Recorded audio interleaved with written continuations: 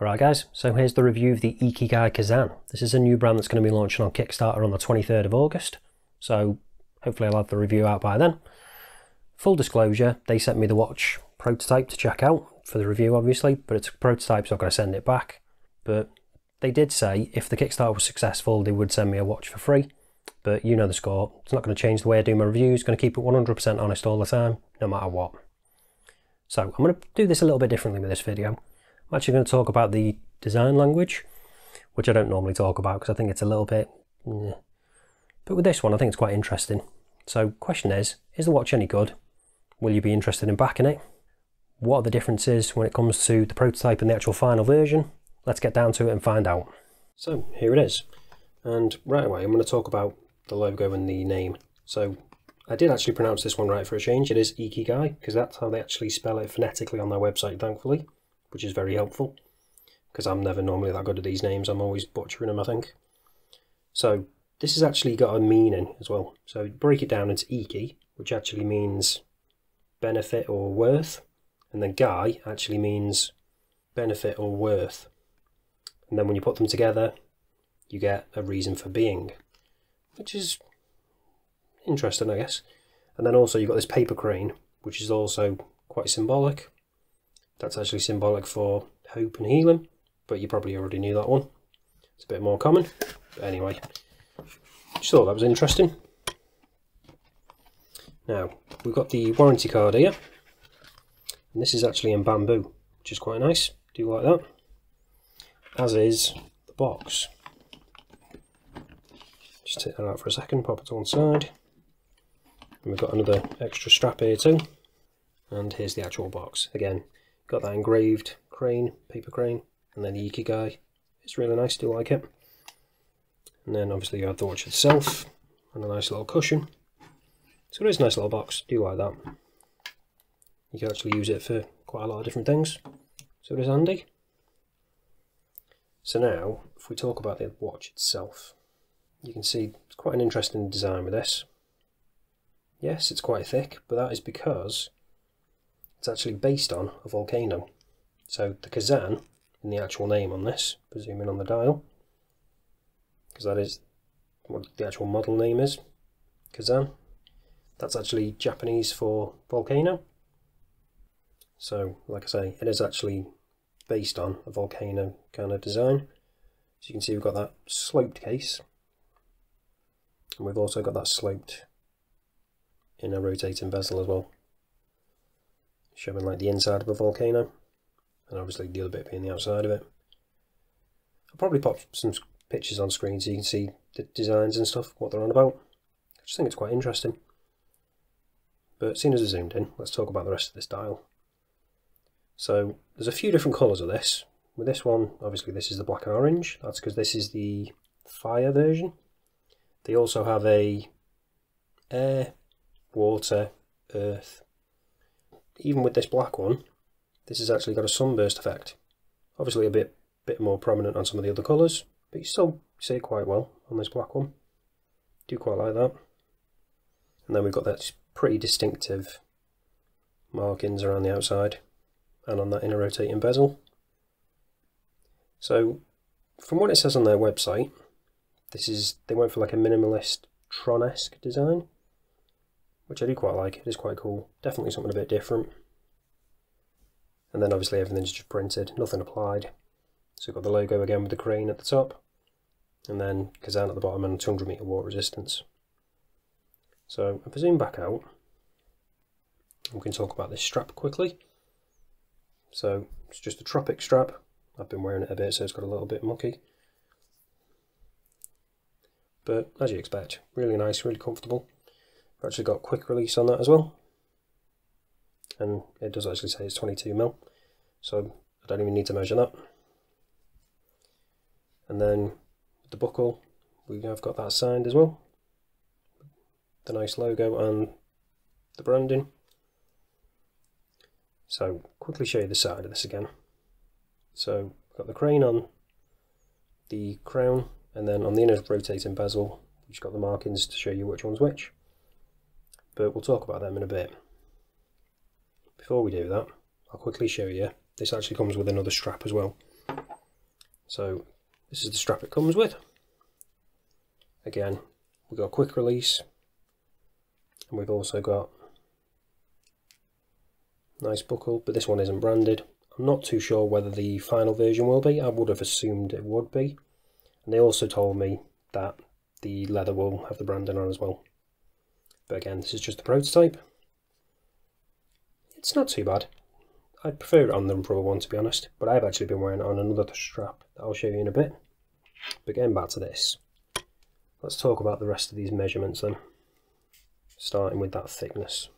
14mm thick. As you saw on the strap, it's 22mm. So yep, 22mm. Now with the diameter, as I said, because it's a sloped case, this is going to be a bit of an interesting one. So if we measure it from the bottom, it's 42 mil. But if we take it from the top, where it starts to slope, it's actually 40 mil. So again, just a bit of interest. Something a little bit different. And it's really angular case this. So it's fully brushed. And then we've got that polished, I guess you're going to call it a bezel, but top part of the case, depending on how you want to look at it, because obviously it's in, an, in a rotating bezel. And then with the lug to lug, that's actually a little bit smaller than you'd expect for this kind of size of watch. And that's coming in at 49.3. So under the 50 mark, so that's always good. Now I suppose I should probably show you the movement in action. It's an NH35. So we've got the usual. Pop it out once. There is actually a ghost date position on that. I know some people don't like that. I'm not overly bothered. And then pull it out again. Obviously, second hand stops, got a hacking. And then we can change the time. Pop it back in, second hand re-engages. And that is a screw down crown, that one. And then with the inner rotating bezel, that isn't screw down, but they told me that it may be changed to a screw down one for the final version. They haven't actually decided yet. And obviously that's bi-directional. So at the moment, with it not being screwed down, you can possibly knock it and adjust it, which I guess isn't ideal, but like I say, they are debating changing that. So I'll quickly show you the case back, this is also really nice. Again, carrying on the design theme. So we've got the volcano on there. Really nice, do like that a lot.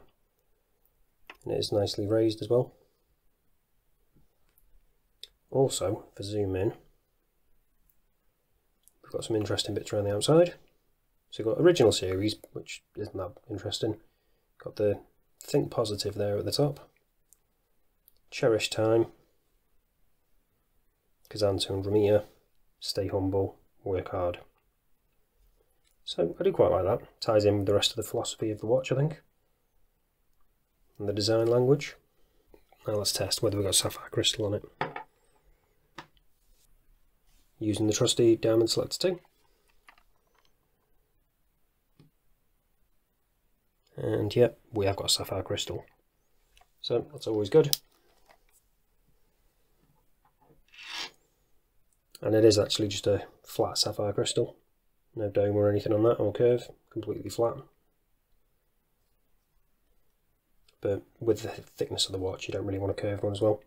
It's just going to add a bit too much bulk, I think. So I'll quickly show you, before we get onto the loom, what it's like on the two straps.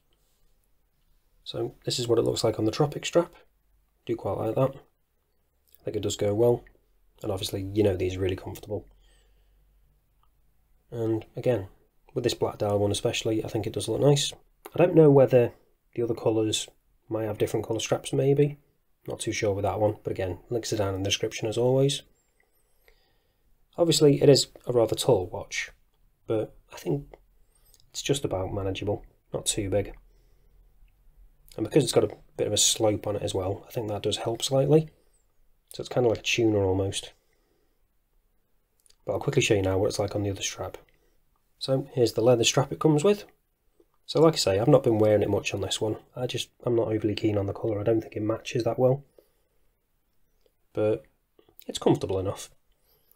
Perhaps it'd go better with some of the other colours, or perhaps you get different colours, I'm not too sure.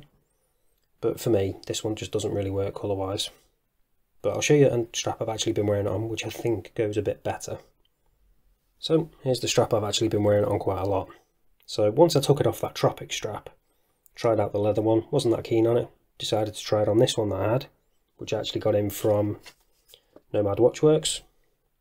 So they sent me a few straps. This is one of them. Sent me in for free, so full disclosure. But I just think it suits it quite well.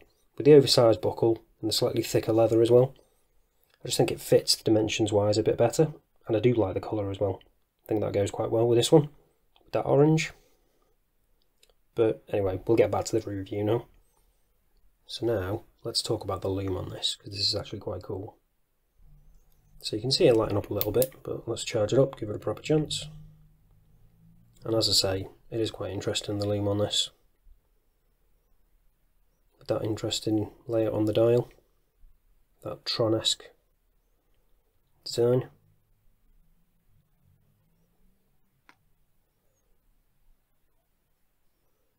And we've also got loomed crowns as well. Just a little bonus. So there's the loom crowns. Again, with the logo and then the rotating bit. And there's the dial. So you can see we've got a mixture of C3 and BGW9.